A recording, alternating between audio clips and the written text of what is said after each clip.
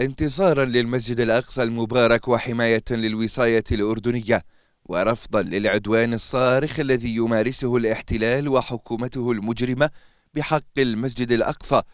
إن هذا الخطر الداهم أولى الموجبات في مواجهته هي جمع كلمة الصف الوطني. نعم اليوم يحتاج الموقف الرسمي إلى فتح الأبواب والقنوات واستيعاب أبناء الوطن هذه أولى الخطوات في الرد على الصهاينة. هي جمع الكلمة الوطنية. وآن الأوان أن تتوحد النسيج الوطني في مواجهة هذا الخطر. نعم نحن اليوم محتاجين من الجانب الرسمي إلى أن يكون هناك جبهة وطنية حقيقية في مواجهة هذا الخطر. وأولى هذه هذه الخطوات استيعاب كل أبناء الوطن.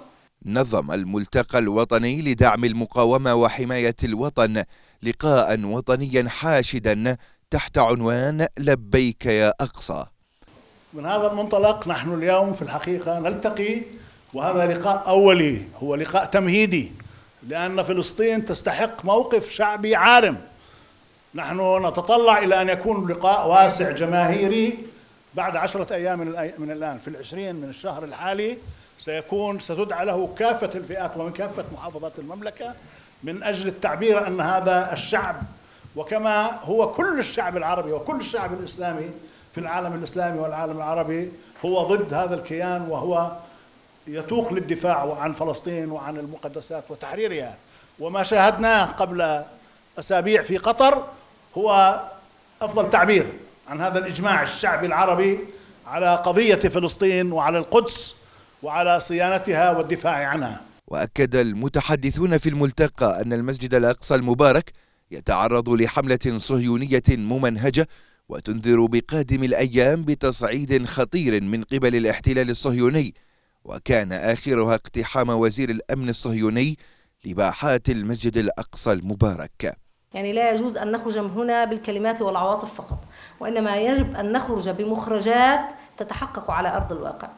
هذه أرض الوصاية هذه الوصاية التي يعني منحت لهذا البلد وفق القانون الدولي آه، لا يجوز أن تظل وصاية شكلية. لا ينبغي أن تظل وصاية شكلية. يجب علينا نحن الجماهير ونحن الشعوب تحديدا الشعب الأردني بكل أطيافه على دفع هذه الوصاية لتقف أمام مسؤولياتها. يعني لا أدري مدى تأثير الشارع على الحكومة أو على الوصاية الهاشمية أو على دفع وزارة الأوقاف على القيام بمسؤولياتها تجاه المسجد الأقصى المبارك.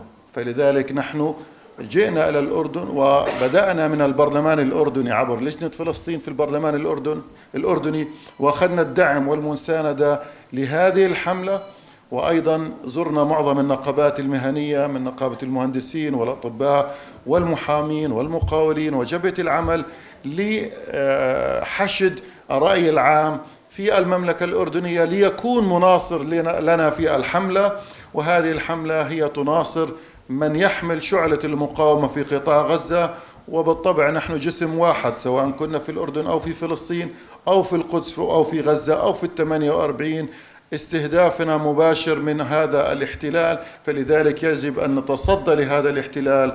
اليوم كان هذا اللقاء بتنظيم من الملتقى الوطني لدعم المقاومة وحماية الوطن على مستوى يعني مختلف الأحزاب السياسية الأردنية والقوى آه، السياسية. كلها تتوحد الآن في كلمة واحدة رافضة للسياسة الصهيونية في اقتحامات المسجد الأقصى الحكومة اليمنية المتطرفة وتوصل رسائل متعددة لدعم صمود أهلنا هناك المرابطين والمرابطات ولتوحيد جبهتنا الداخلية الأردنية ورسائل كثيرة كانت لأصحاب السلطة في الأردن. لكي يكونوا على جدية حقيقية وأخذ بأسباب حقيقية للمواجهة القادمة والتحديات الكبيرة والهائلة التي ستكون على الأردن مع هذه الحكومة اليمينية المتطرفة.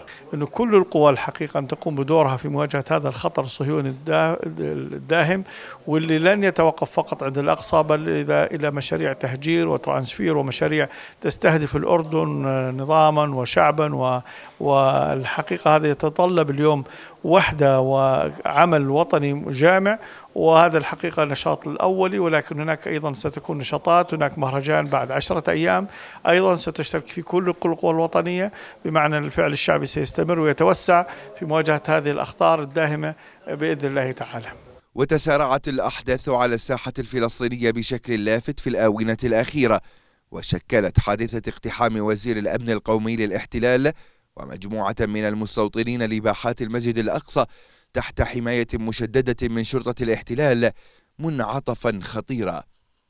ووجهت حكومة الاحتلال بقيادة المتطرف نتنياهو بهذه الخطوة التي أثارت ردود فعل عربية وعالمية غاضبة لانتهاك حرمة المقدسات الإسلامية عدة رسائل للداخل والخارج وكشفت عن بعض نواياها بطمس المعالم الإسلامية للمسجد الأقصى المبارك.